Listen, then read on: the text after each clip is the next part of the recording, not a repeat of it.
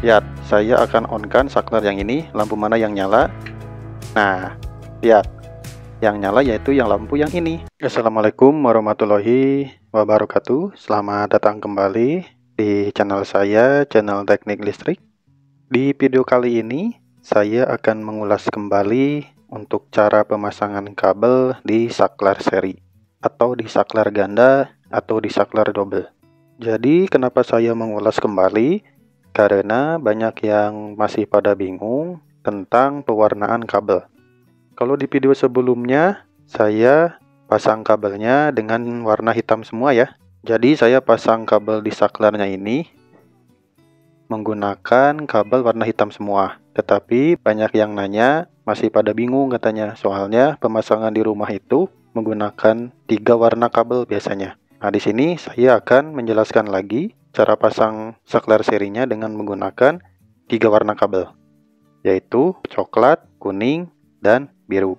Kalau di sesuai standar foil mah untuk warna kabel pasa itu harus yang warna hitam ya. Kan tetapi berhubung di instalasi rumah banyak yang warna tiga kabel kayak gini, warnanya tiga warna, maka sering kebingungan gitu bagi yang belum tahu tentang instalasi. Oke, jadi di sini tidak ada saling menyalahkan untuk warna kabel ya, karena di sini saya hanya memberikan tutorialnya aja, oke? Bagi yang belum paham, belum tahu silahkan disimak baik-baik.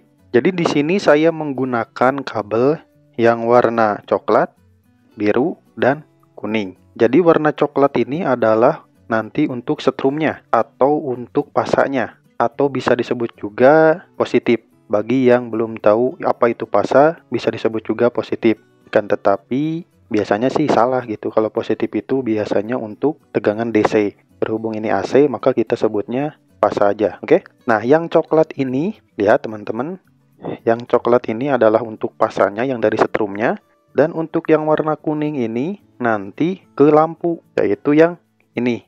Ke lampu lihat sudah saya pasang kan. Nah, untuk yang biru ini ke lampu yang sebelah sini. Nah, ini warna biru nih. Untuk netralnya saya gabungkan dari lampu ke lampu. Lihat. Ini warna merah ini adalah netralnya.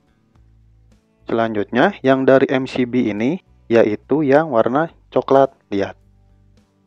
Nah, itu ya untuk pengertian dari warna kabelnya supaya teman-teman tidak bingung. Oke, sekarang saya akan coba pasang di saklar serinya, lihat. Ini adalah saklar seri ya, yang di mana ini itu adalah saklar pertama, ini saklar kedua. Bisa dicontohkan kayak gitu ya. Nah, di sini nanti saya akan coba untuk pemasangan jumpernya ini di mana. Pasti teman-teman bingung kan? Kalau yang belum tahu, jumpernya ini di mana? Karena banyak yang salah pasang jumpernya. Biasanya nanti ketika di jumper suka ada yang nyala lampu dua-duanya ketika sektor satunya di on kan. Oke, maka di sini saya akan kupas lagi secara tuntas dan mudah-mudahan teman-teman langsung paham. Oke, jadi gini ya.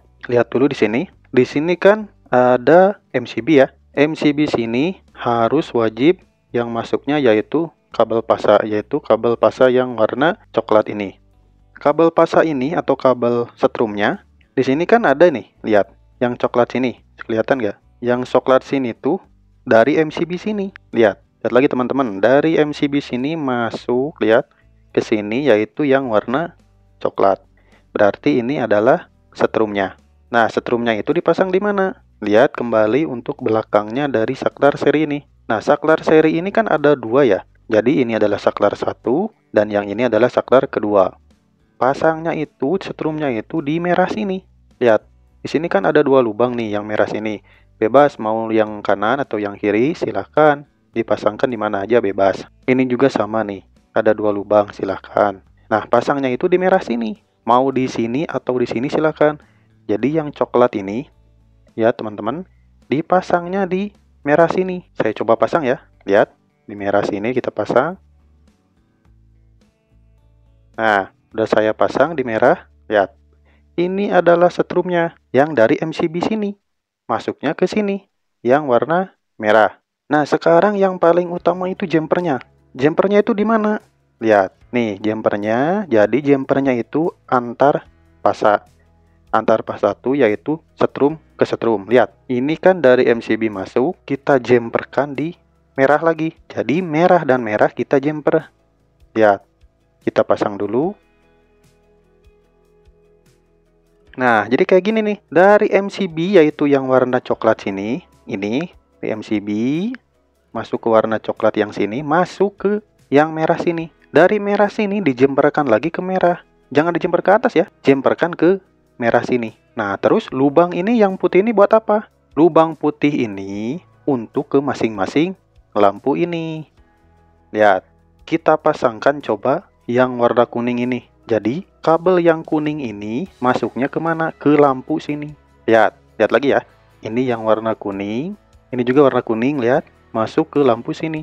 Nah, ini warna kuning. Nah, berhubung yang warna putih ini adalah ke masing-masing lampu, jadi untuk yang lampu ini kita pasangkan di sini.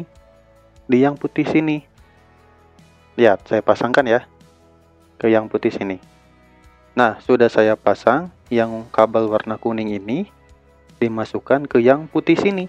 Mau lubang ini, lubang ini silahkan, bebas. Jadi, warna kuning ini yang dari putih yaitu ke lampu yang ini. Lihat jalurnya. Kuning, masuk. Nah, yang ini masuk ke lampu ini. Oke, paham sampai sini kan? Untuk selanjutnya, yang biru ini, lihat, yang biru, ini masuknya ke lampu yang sini. Lihat warna biru ini, ke lampu yang sini. Nah, pasangnya di mana?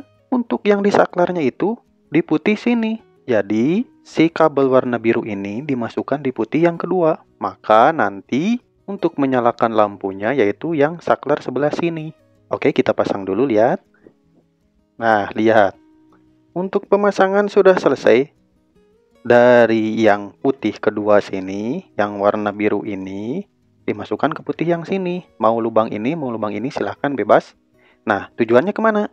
Biru ini yaitu tujuannya ke lampu yang sini. Lihat biru. Tadi yang kuning kan? Yang ini? Ke lampu yang sini. Nah, untuk yang biru, ke lampu yang sini. Nah, untuk jumpernya lihat, dari setrum MCB kan masuk ke sini ya. Maka dijemperkan lagi ke yang warna merah. Nah, lampu kan bisa menyala ketika ada setrumnya. Maka untuk masing-masing lampu ini membutuhkan setrum ini atau membutuhkan pasanya. Maka di sini itu dijemperkan dari setrum sini masuk dijemper ke yang merah sini. Jangan ngambil lagi dari MCB sini masuk ke sini pemborosan. Maka dilakukanlah namanya jumper. Itulah fungsinya untuk jumper tidak mengakibatkan pemborosan. Bisa juga dari MCB sini masuk ke sini bisa juga silahkan. Akan tetapi kan tujuan dari pemasangan seri ini adalah ekonomis ya tidak pemborosan. Dan untuk kabelnya juga ya tiga kabel. Banyak yang tanya juga ya untuk pemasangan netralnya di mana? Nah jadi untuk netral itu tidak ada yang di saklar sini tidak ada ya, tidak ada sama sekali. Di sini wajib yang positif semua atau yang pasar semua, jangan ada netral. Netral itu langsung aja lihat. Ini netral yang dari pusatnya yang dari atas atau bisa digabungkan dengan stop kontak juga silakan dimasukkan ke masing-masing lampu. Lihat, kalau tidak ada netral, lampu ini tidak akan nyala. Maka wajib dipasang netral di masing-masing lampu. Lihat, digabungkan aja gak apa-apa. Nah, jadi itu ya untuk pemasangan netralnya. Nah, jadi gini ya, untuk pemasangan saklar serinya gampang dan simple. Jika teman-teman ada yang bingung untuk yang tiga warna kayak gini, silahkan ditiru kayak gini. Insya Allah aman dan sentosa. Oke? Okay? nah, untuk sekarang saya akan coba menyalakan lampunya.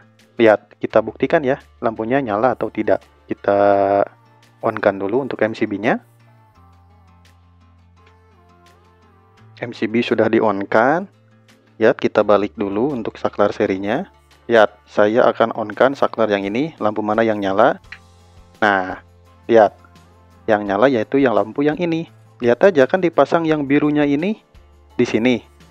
Sehingga yang nyala yaitu yang ini. Karena kabel yang biru masuknya ke sini nih. Maka nyalanya yang lampu ini.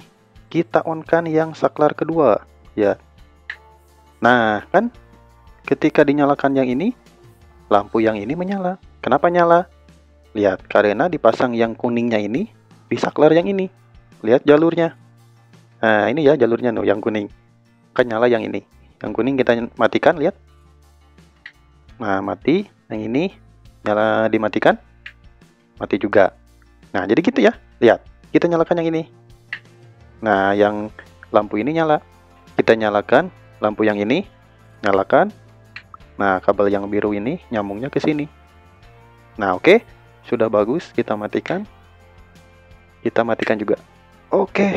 Jadi segitu ya untuk pemasangan kabel untuk pemasangan jumper juga. Jadi cara pasangnya kayak gitu. Ini khusus yang tiga warna kabel gini ya. Nah ini biasanya sering digunakan nih di instalasi rumah yang warna kabel tiga ini. Karena banyak yang nanya juga ya di channel saya. Jangan sampai salah untuk pemasangan jumpernya. Nah pemasangan ininya kayak gini. Oke. Terima kasih mudah-mudahan bermanfaat. Mudah-mudahan teman-teman bisa praktiknya. Silahkan diikutin untuk caranya kayak gini. Mudah-mudahan bermanfaat bagi semuanya. Terima kasih. Jika ada yang masih bingung, silahkan komentar di bawah. Oke, terima kasih. Wassalamualaikum warahmatullahi wabarakatuh.